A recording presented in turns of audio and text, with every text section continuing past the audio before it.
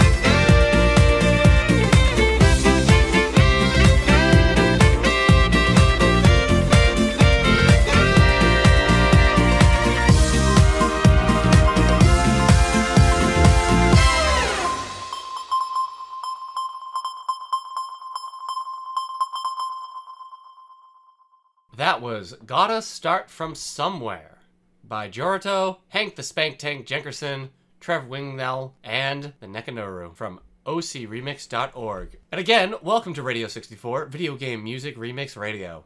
Many of these tracks can be found at the website Overclocked Remix at ocremix.org. I'm your host, Eric Mikols, also known online as Dusk vs. Tweak. You can find past episodes of Radio 64 at youtube.com slash dusk versus tweak along with other great podcasts let's plays and other various videos the song you just heard was remixed from sonic the hedgehog the original source was from invincible title screen and title screen because there's a little sonic the hedgehog 3 in there. And Sonic the Hedgehog, the original game, the music was by Masato Nakamura. That song is just, it's a lot of fun. It's springy, and it's energetic bluegrass take that I didn't expect to come out of Sonic the Hedgehog. I guess I never really connected bluegrass as being uh, such a fun way to take on the Sonic the Hedgehog music, but there it was. It's a lot of fun. I love the cheesiness of those original sound clip. Up next is a PS2 classic to some, one I still have to play. It's on my to play list, and I need to get to it soon. I gotta download it on my PS3. I'm talking about Ico. So, the original soundtrack by Ico was by Michiru Oshima as well as Pentagon, and this is from the tracks Continue and Heal. The song is called Save Me, OCR edit, by SGX. I've always found this to be chill take on the trance genre. The music is just it's very relaxing, but it, it has a really great beat to it all. I actually played this song at my wedding reception. It, it's been a favorite, even though I've never played the game. I've always really enjoyed this track.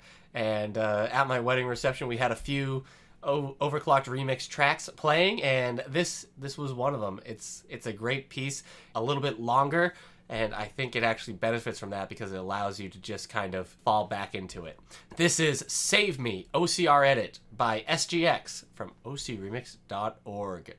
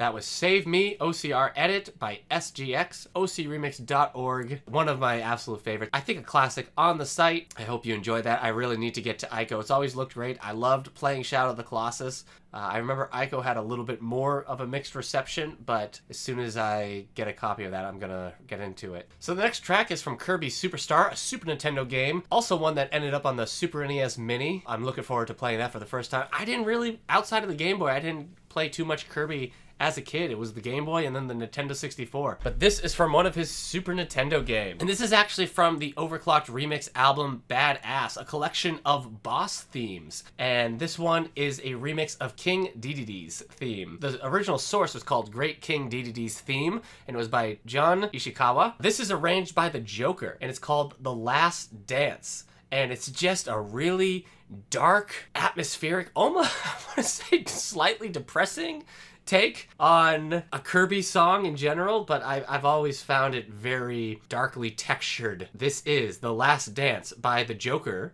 from the Badass album at ocremix.org.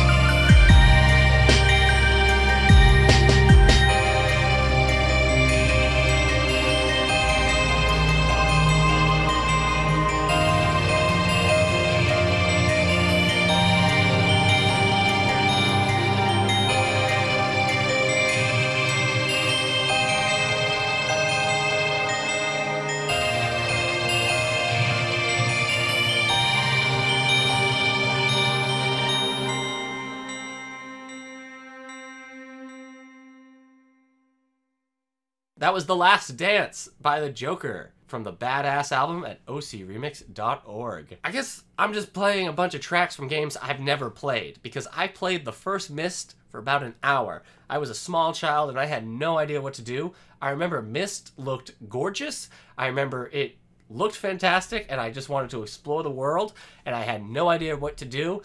And after about an hour, I said, I don't think this is for me. I, I must have been like 10 years old or whatnot. But this track is based off of the song Wheels of Wonder from Myst 3 Exile. So no way would I ever get to Myst 3. I have a friend played the Myst games and and he has fond memories from them. Myst 3 Exile was originally composed by Jack Wall, so this is Wheels of Wonder. This is from the American album, which is an album that was put together by Mazedude. Maze Dude is one of my favorite remixers on Overclocked Remix, he always has this really dark, kind of twisted style that I can really sink my teeth into. This track is called American Wheels of Wonder by Mazedude from ocremix.org.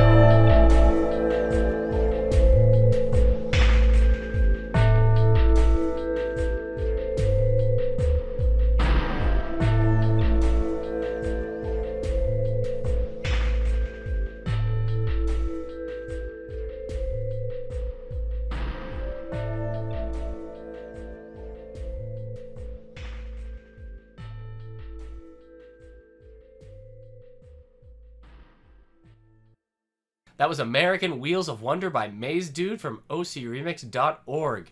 I don't think I'll ever go back to trying the Myst games. I think the point and click adventure games are not for me. I'm not super great at puzzles, but who knows? Never say never. Maybe I'll at least give the first Myst a go.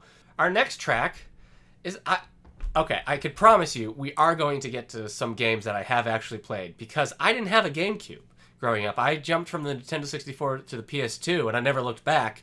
But part of me now kind of regrets having not played too much GameCube games. Though I don't think Star Fox Adventures is necessarily looked back on as a classic.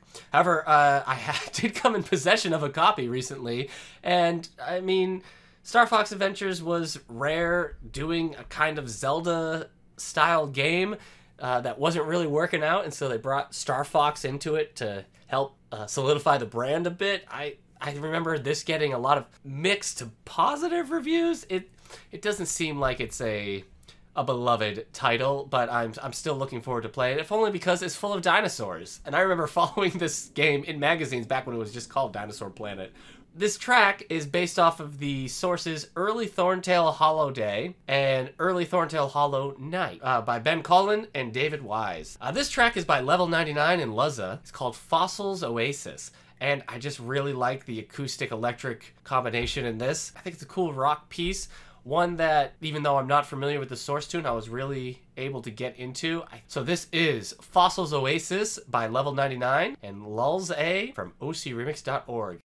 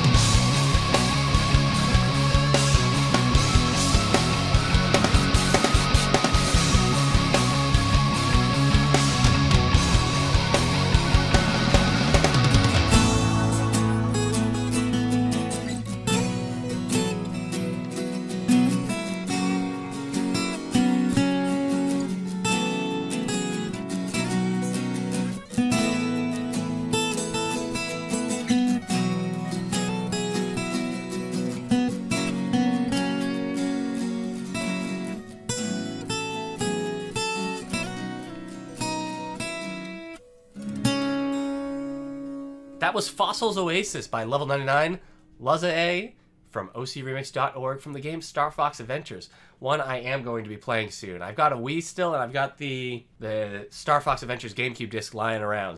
A game I have played. We're back. We're back to me knowing what I'm talking about a little bit. This is from Kingdom Hearts, originally dearly beloved and simple and clean. The music was originally by Hikaru Utada, Yoko Shimomura. Uh, Yoko Shimomura, as we talked about in previous episodes, responsible for the Street Fighter II soundtrack. What a legend.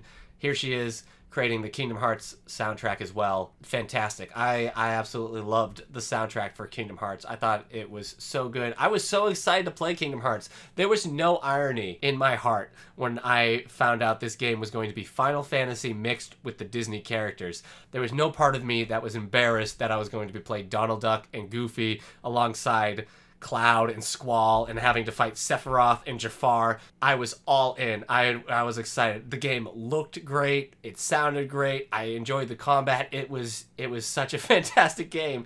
I still look back on that my time playing Kingdom Hearts very fondly.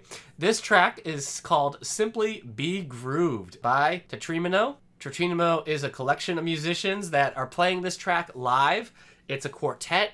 It has a very groovy sound, I think. I mean, you know, it's in there. Simply Be Grooved is the title. So this is called Simply Be Grooved by Tetrimino from ocremix.org.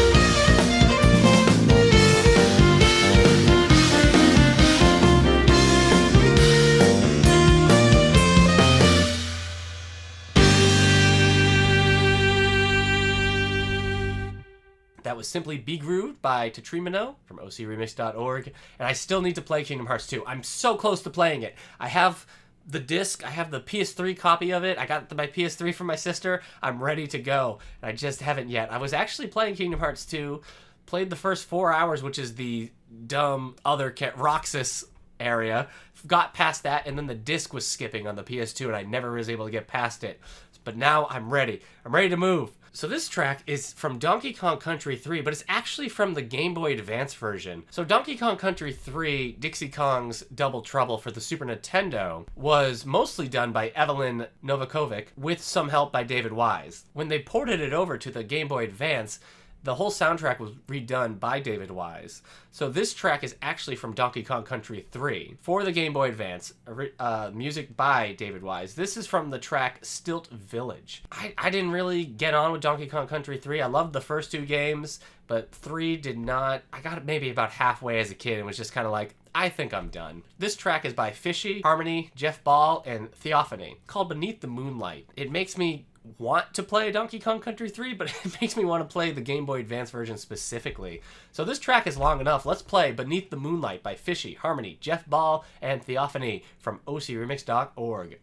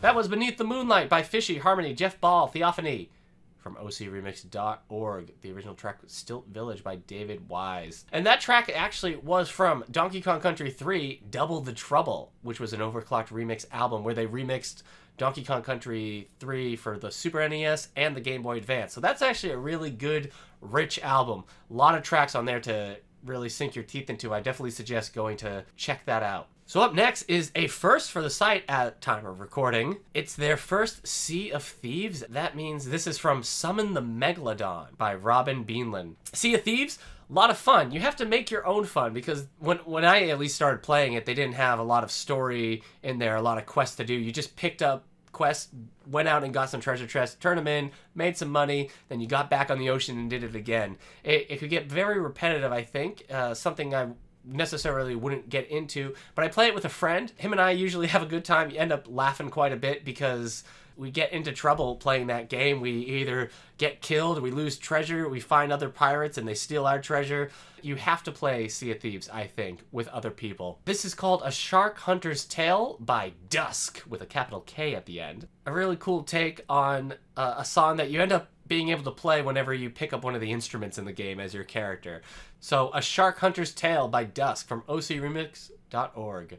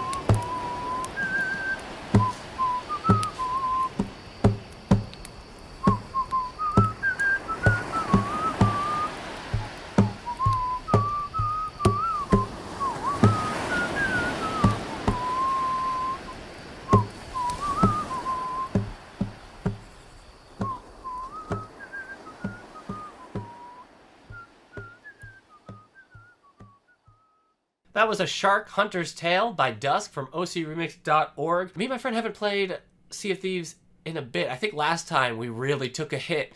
We we lost a whole bunch of treasure in the ocean and it was real depressing. And I think I've had a hard time getting back into it. Up next is a track from The Witcher 2 Assassins of Kings from the source Dwarven Stone upon Dwarven Stone. I plan to get to the Witcher games. I'm going to start the first game. I thought I was going to play Witcher 3 without playing the first two.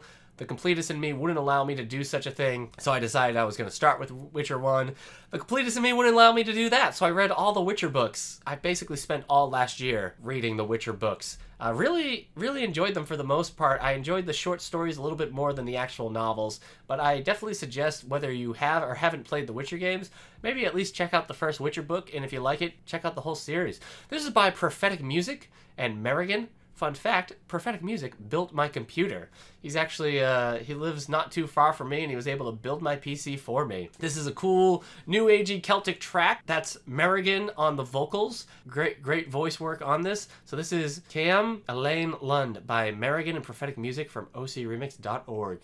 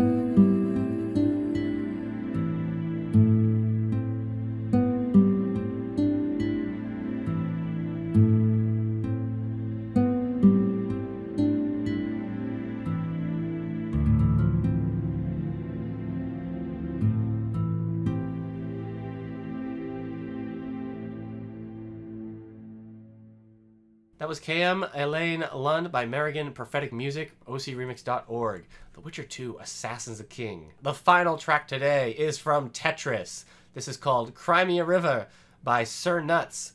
The original track was A Type. You're all familiar with A Type. Everybody's played Tetris. Is that safe to assume? If I if I met somebody who hadn't played Tetris, I I think I would try to help them correct that very quickly. It uh, it would kind of blow my mind that you could play anything and have never played Tetris. This is actually from another album from Overclocked Remix. It was called Legacy. Game Boy 25th anniversary. So this was 2014. We're at the 30th anniversary of the Game Boy right now. This was five years ago, this mix. Yeah, I mean, what can I say about the A-Type track from Tetris? It's it's so memorable. And considering how much Tetris I played on the original Game Boy, it's just ingrained in my head technically isn't a piece that was originally for video games. It's actually a Russian folk song which was then used in Tetris, but it I think it's now so synonymous with Tetris. You can't you can't escape it. So this is "Crimea River by Sir Nuts from ocremix.org.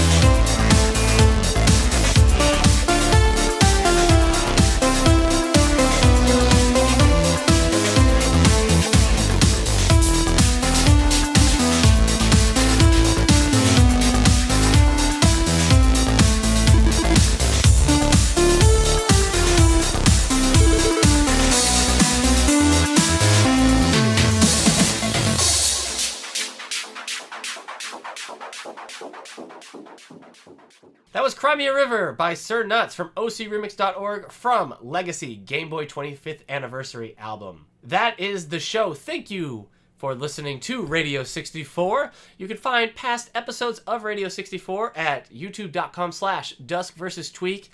That's my name everywhere online. I'm Eric Mikols, again known as Dusk versus Tweak. If you have any video games, that you'd like to hear remixes from. If you have any remixes that you would like to hear on this, please don't hesitate to find me on Twitter at Dusk vs. Tweak and let me know. Again, thank you to WRAQ 92.7 FM. You can listen live to this every Monday at 6 o'clock part of Angelica's local radio station. Also on WRAQ 92.7, you can find me on the All the Books show every Wednesday night at 9. You can also find the All the Books show at soundcloud.com slash all the book show. Thanks for listening and see you next episode.